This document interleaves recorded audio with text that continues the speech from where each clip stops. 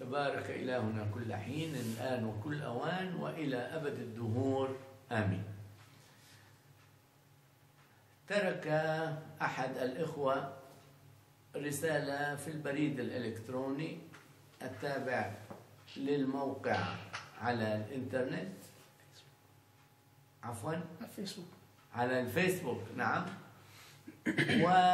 ويسرني أن أرد عليه بهذا العرض القصير حول السر الثالث للعذراء.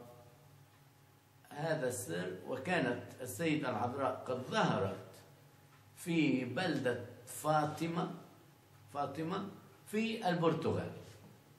بلدة فاطمة نسبة إلى إحدى الأميرات العربيات وليس إلى فاطمة بنت محمد بن عبد الله نبي المسلمين. طبعا من السر الأول أو الثاني كان انهيار العالم الشيوعي. العالم الشيوعي الماركسي الملحد الذي كان قد أسسه بمساعدة فلاسفة خصوصا يهود.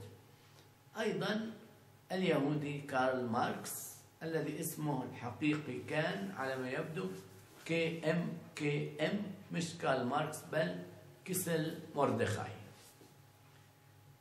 طبعا وهذا شيء مثير للانتباه إنه في نفس السنة التي نشأت فيها الثورة البولشفية 1917 ظهرت العذراء متنبئة عن نهاية الشيوعية التي انهارت في أواخر التسعينات أو في أوائل التسعينيات أو التسعينات من القرن الماضي. الآن ينسب إلى السيدة العذراء. طبعا الكنيسة الكاثوليكية لا تتخذ موقفا رسميا من الظهورات أو من المعجزات لأنها دائما تتمسك بجوهر الإيمان. وجوهر الإيمان موجود في الكتاب المقدس في التقليد الرسولي وفي تعاليم الكنيسة. كل اذا الظهورات والمعجزات تبقى مواضيع بحث علمي طويل جدا ونادرا جدا ما تتخذ الكنيسة موقفا. طبعا البابوات ابتداء البابا وخصوصا من البابا بيوس الثاني عشر يعلمون بهذه الأسرار ولكن ما نشر في وسائل الإعلام أو في الفيديو الذي نقله إلينا الأخ المشار إليه تنبه السيدة العذراء أنه يجب على البشرية أن تتوب. تنبه عن تفشي الشر في العالم تقول أن أمما ستفنى عن وجه الأرض وأن ثلث البشرية سيبيد ولكنني لا أذكر أو هذا ما نسب أو ما هو منسوب إلى السيدة العذراء وما يقال أنه السر الثالث هذا السر المعلن.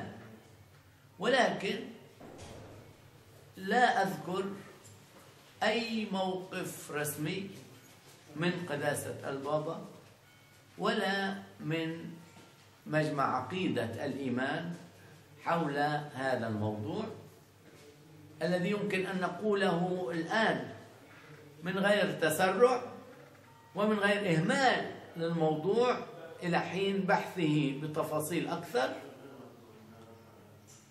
أن التوبة ضرورية أن يوم الرب يأتي ويطبق على البشر كالفخ كما ورد في إنجيل لوقا. من غير أن نعرف هذا اليوم أما اليوم والساعة فلا أحد يعرفها. وطبعا هذه دعوة مستمرة للسهر وللتوبة وللعودة إلى الله ونبذ الرذيلة.